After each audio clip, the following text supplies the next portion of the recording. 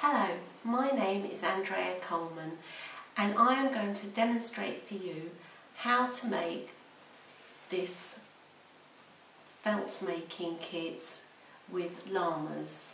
Everything you need is in this box here which is available from www.artfelt.co.uk.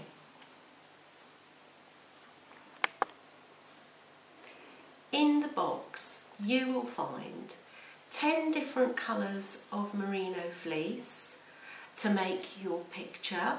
Also pure merino yarns that are absolutely right for using in conjunction with the groovy mat to make the saddles.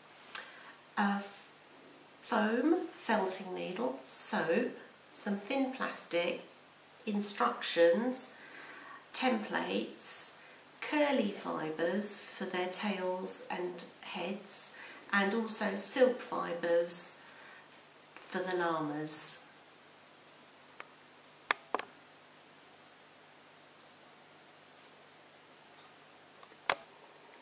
Right, to start this demo I'm going to show you how to make the white pre-felt for your white llamas. Before we even start, make your soapy water so it's ready when we need it get the fleece and then just take a small amount away through the long bit and put it to one side, we'll need it later. Then with what you've got left behind, divide it in half like this and then take that one quarter like that. And then I'm going to show you how to lay the first layer. So you just trap it and pull it away. Trap it, pull it away. Trap it, pull it away.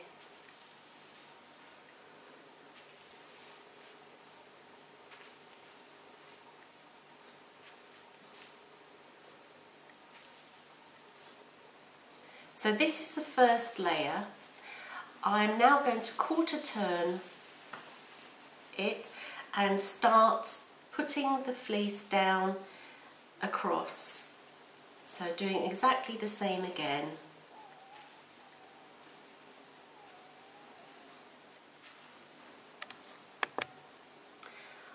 I've completed the second layer and I've added a small amount of grey to one end and now I'm just adding the silk fibres, the white ones, to this and it'll be ready to get wet in a second. I'm now getting it wet with the soapy water.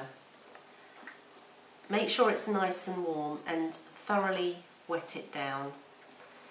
Then you can get your thin plastic, lay it on top and press down. After patting down for several minutes, we can now start to rub. You just add a little bit of soapy water to the top of your thin plastic and then slide your hands across your work. You do this for one minute and then you quarter turn all your work and repeat in this direction and then quarter turn again and do a last quarter turn. So each time you spend a minute doing this and then we will test it to see if it's ready. After a while your hands will move up and down with the thin plastic, that's absolutely fine and you can be quite tough with it. After you've finished rubbing your work, um, have a pinch of it and see if it can all come up like this. It's ready to um, put aside. It's quite common the first time you felt that actually yours is still very loose and just repeat the four minutes a bit more vigorously. To make the brown llamas I've laid down the light brown and a bit of the mid brown. So it's about two thirds light brown, one third mid brown.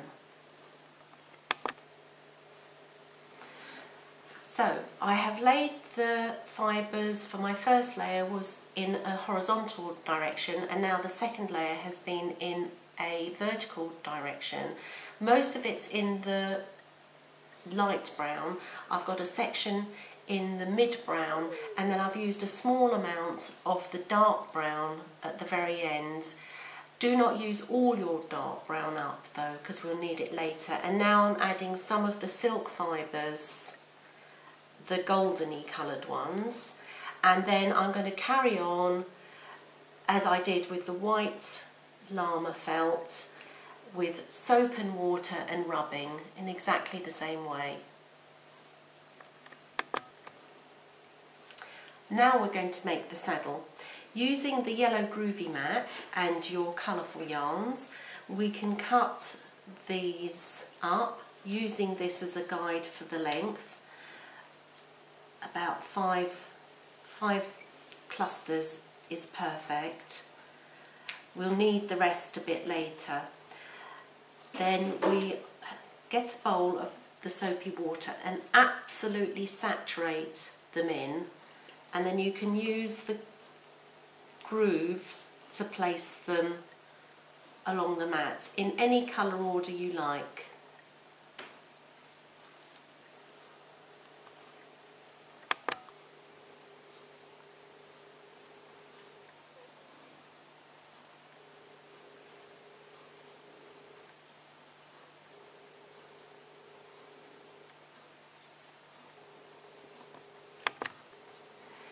So using a small amount of the white that you've just got left over from making the llamas previously, we are now going to put a thin layer going in the opposite direction of your stripes. And then we're going to get it wet and put the thin plastic on top and it's really important that we spend a long time, at least five minutes, just patting this down because we don't want the stripes to move.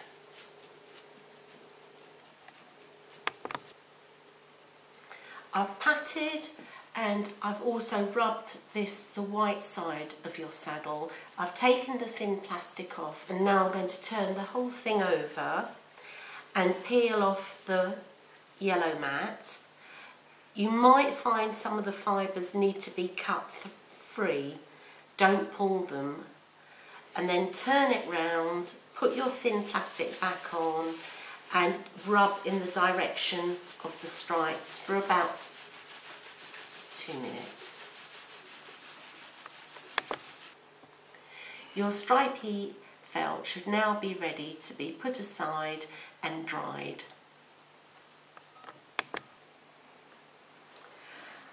I've prepared the colours that we're going to use in the background for the landscape. The lightest pale blue for the sky in three parts, the mid blue in two parts, the blue green in three parts, the moss in two parts and the olive remains in one part. I'm going to take one part of the sky blue and one part of the blue green. That will be our first layer. One part of the sky blue, the mid blue and one part of the blue green and one part of the moss. That will be layer number two and the rest will make up layer number three. I will start using the lightest sky blue colour. I'm going to divide this in two and I'm going to work in a horizontal direction and I'm going to trap and pull away.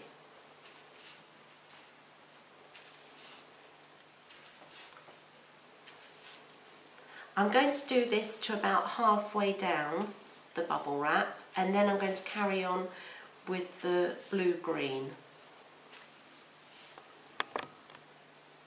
I've created my first layer using the lightest sky blue and the blue green colour and it's quite thin.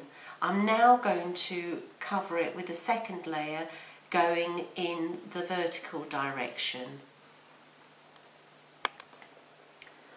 I've put a very thin layer um, of the lightest sky blue. And now I'm going to cover that over the top with the darker sky blue colour.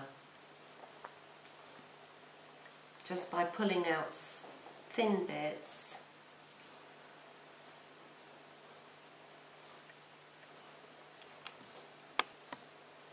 I'm now doing exactly the same as I did at the top with the blue-green along the bottom.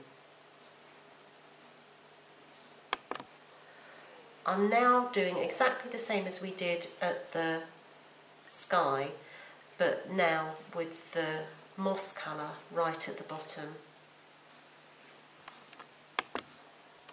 So I've started my third layer.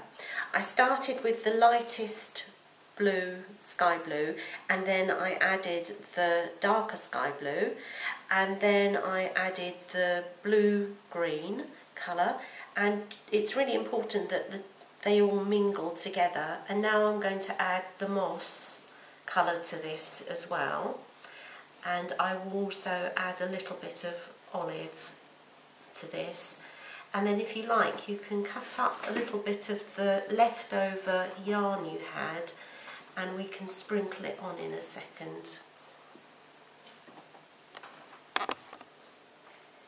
I've sprinkled a little bit of the cut up pieces of yarn left over from the saddle and also I've I put very very thin amounts of the olive on top just be careful of the really bright colours. They can really zing out.